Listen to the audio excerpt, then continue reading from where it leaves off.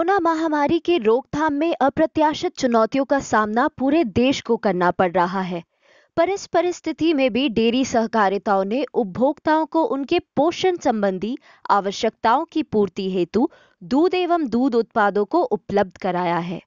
जहाँ इस विपदा ने यह साबित कर दिया है कि डेयरी सहकारिताओं के आधार मज़बूत है, वहीं डेयरी किसानों ने निरंतर सेवा से सभी को प्रभावित किया है। इस आपदा को भापते हुए राष्ट्रीय डेयरी विकास बोर्ड ने देश के सभी डेयरी सहकारिताओं से यह अपील किया था कि वे दूध और दूध उत्पादों की नियमित आपूर्ति के लिए आवश्यक उपाय करें, ताकि उपभोक्ताओं द्वारा घबराहट में आकर अधिक खरीदारी की जाने वाली स्थितियों से बचा जा सके।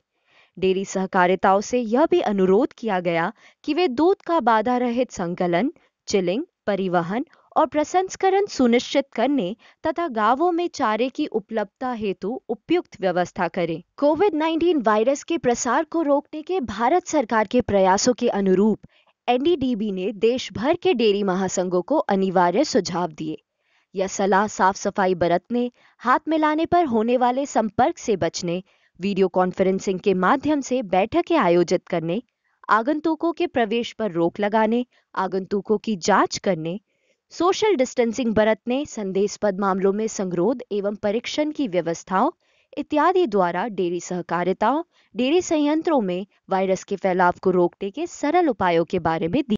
इन अनिवार्य सुझावों को इस्तेमाल में लेते हुए डेयरी क्षेत्र ने अपना कार्य जारी रखा।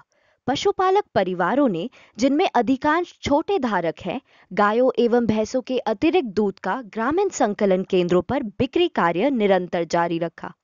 डेयरी क्षेत्र की सराहना करते हुए अध्यक्ष एनडीडीबी ने कहा, जैसे आपको मालूम है, कोरोना की महामारी से हमारा देश और सारा विश्व जूझ रहा है और लगातार लॉकडाउन की वजह से हमारा देश में कई उद्योग बंद होने की परिस्थिति में आ गई हैं। लेकिन हमें गर्व है कि आपकी सक्रिय सहयोग से देश भर में डेयरी सहकारिताएँ, एक और ग्रामीण अर्थव्यवस्था और आपकी आजीविका को सुनिश्चित कर रहा है और दूसरी ओर उपभोक्ताओं को उच्च गुणवत्ता वाली दूध उपलब्ध करा रहा है। इस आपदा के कारण पशु आहार उत्पादन के लिए महत्वपूर्ण कच्ची सामग्री की अनुपलब्धता देखने को मिली, जिसके बाद एनडीडीबी ने पशु आहार की मांग को पूरा करने के लिए पशु आहार संयंत्रों को रिफॉर्मुलेशन सहायता प्रदान करना आरंभ कर दिया है।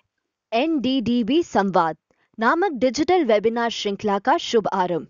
प्रथम वेबिनार का उद्देश्य कोविड 19 महामारी के दौरान डेयरी वैल्यू चेन में अपनाई जाने वाली प्रक्रियाओं के बारे में जानकारी प्रदान करना था।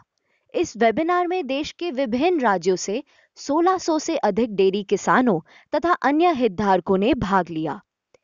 पशु स्वास्थ्य, पशु पोषण, पशु प्रजनन तथा सहकारी सेवा पर एनडीडीबी के विशेषज्ञों ने अपने विचार साझा किए। मई 19 को आयोजित वेबिनार में डेयरी मूल्य श्रृंखला में गुणवत्ता, विपणन और अन्य सेवाओं की जानकारी प्रदान की गई। साथ ही साथ 28 मई को विदर्भ एवं मराठवाड़ा के किसानों के लिए दुग्ध पशु प्रबंधन पर भी चर्चा हुई। शारीरिक और मानसिक विश्रांति की प्रक्रियाओं पर भी एक संवाद जून के पहले सप्ताह में किया गया। एनडीडीबी ने सहकारिताओं के व्यापक नेटवर्क का इस्तेमाल कर डेयरी किसानों तक मोबाइल मैसेज के द्वारा कोरोना वायरस के प्रसार को रोकने की सलाह भी भेजी, जिससे ज़्यादा से ज़्यादा किसान इसका लाभ ले सके।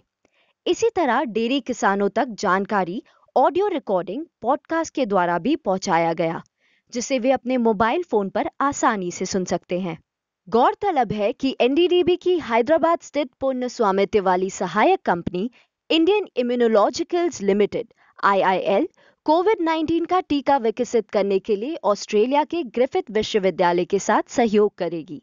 आईडीएमसी एनडीडीबी की पुण्य स्वामित्व वाली सहायक कंपनी ने यह सुनिश्चित किया कि दुग्ध पैकेजिंग सामग्री नियमित रूप से डेयरी संयंत्रों में प्रदान हो। इस संकट में मदर डेयरी एनडीडीबी की सहायक कंपनी ने दिल्ली में अपने उपभोक्ताओं के लिए दूध और दुग्ध उत्पादों की नियमित आपूर्ति सुनिश्चित की। मदर डेयरी के सफल ब्रांड ने फल और सब्जियों की आपूर्ति को भी सुनिश्चित किया और इसी तरह दुग्ध उत्पादकों और फल सब्ज़ी वाले किसानों की आय को जारी रखा। एनडीडीबी हर पल देश के डेयरी किसानों के साथ है और कोविड 19 के दौरान हम सब निश्चित रूप से मजबूती के साथ आगे बढ़ेंगे।